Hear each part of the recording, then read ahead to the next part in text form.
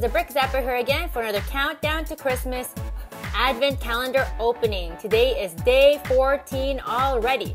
So let's find out what we're going to open in our calendars. So here I have my special guests. Big T. And Little Buskus. so little Buskus, how are you feeling today? Did you eat better today? Okay, so let's open the Kinder Surprise for day 14 first. Here it is.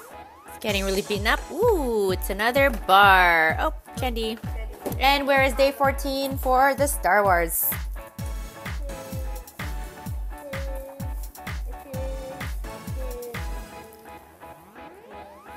Hmm, doesn't exist. Okay. And it is a Something.